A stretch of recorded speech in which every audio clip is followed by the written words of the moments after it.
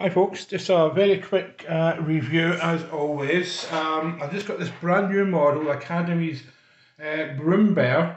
It has been out for a while now, but at the moment I've got a thing about Brumbärs. So I've I've just recently built, just move this out the way and show you. I've just recently built this late model Brumbär here which is the old Shanghai Dragon kit from 20 odd year ago. It's been upgraded with, with, with several features. Uh, least of all is the Tamiya Zimmerit.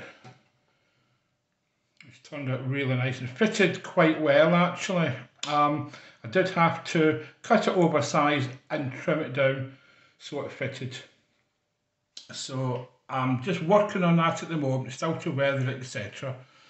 Another Brumbär that I've had on the go for a while is that one there, which is Dragon's mid-model with the Zimmer already moulded on. Nice kit as Dragon normally are.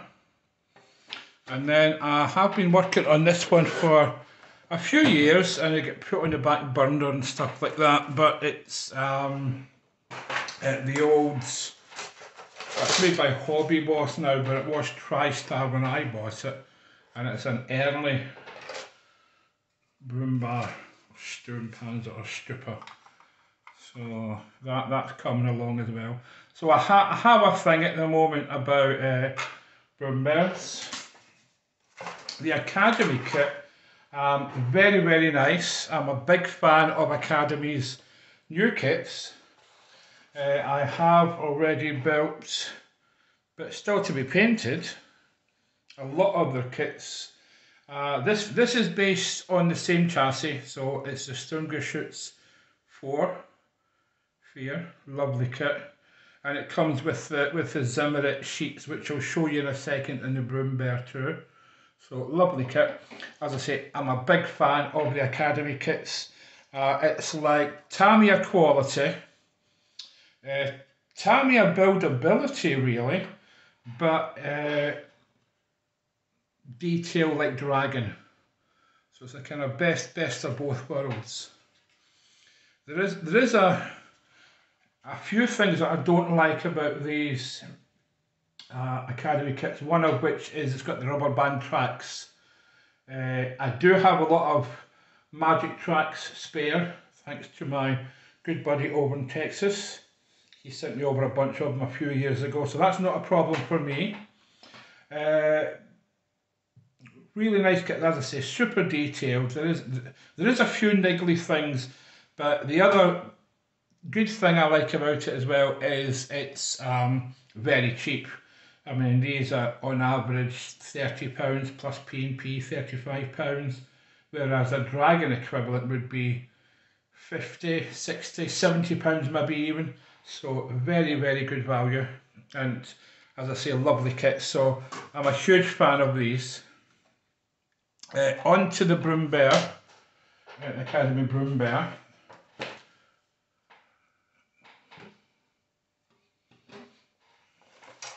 And I have taken these out of the bags already for a for a nosy, but you get your instructions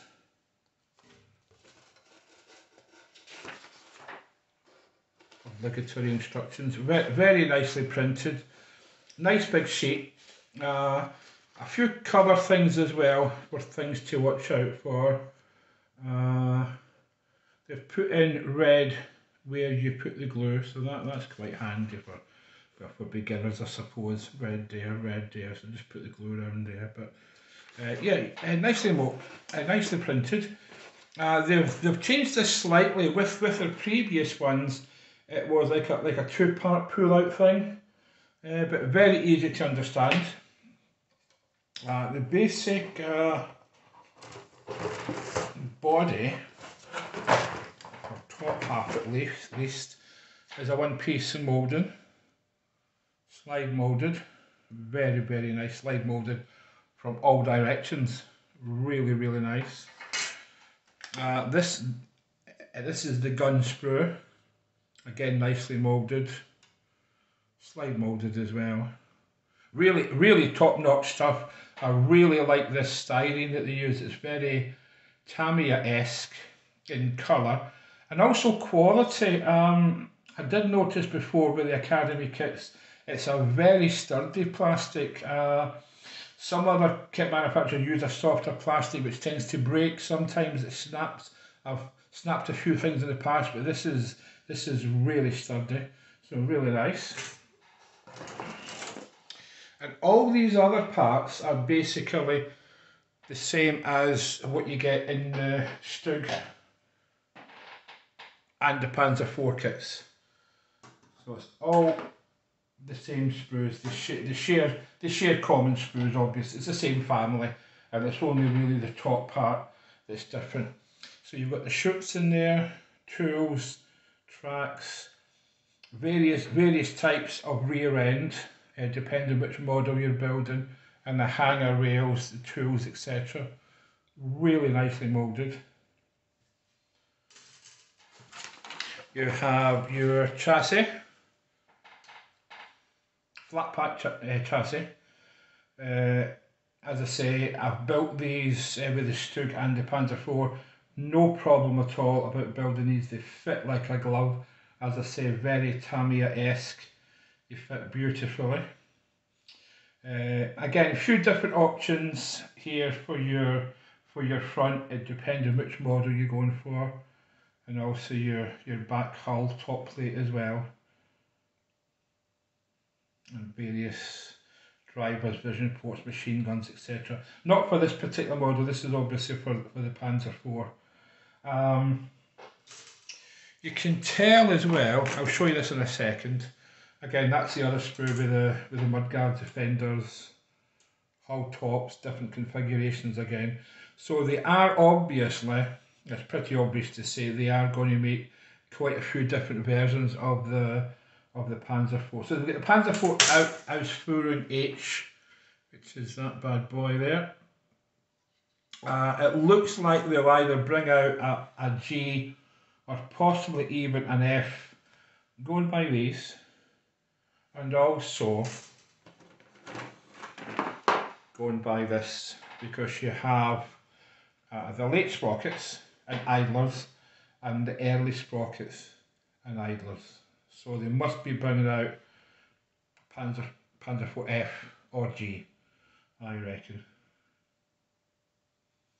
Same wheels obviously, different hubcaps, so you've got the later hubcaps again for the H and the earlier hubcaps for the G or earlier. Various brackets which are not used in this particular model, I don't think, I think these are for the, uh, uh the Stug and uh, there's a few things that are for the Panzer IV as well. So as I say, that's a generic uh, sprue. There's four of these. So, uh, and that's about it really. Oh, the most important part, uh, as I say, rubber band tracks, which are which are nice actually, very nicely moulded. Uh, it's got quite a good uh, quite a good locking system actually. Um, and I will use these on on the on the other Brumbär that I'm just about finished, uh, the Shanghai Dragon Brumbär, because uh, that's going to have quite a lot of Schürzen on it, so they're more or less covered anyway.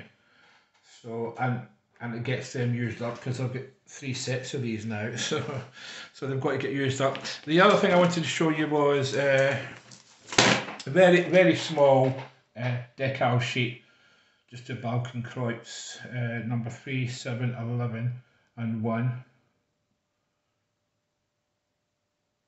Then you have your, uh, these are for the fire extinguishers. So nice decals, just a nice bit of detail. But uh, this is this is the uh, the, Zimmerit. It's made by DEF Models in Korea, uh, where where Academy comes from. These are superb. I've done a few videos previously about these. Uh, you cut them out, you put them on just as water slide transfers, you let them dry, they are absolutely fantastic.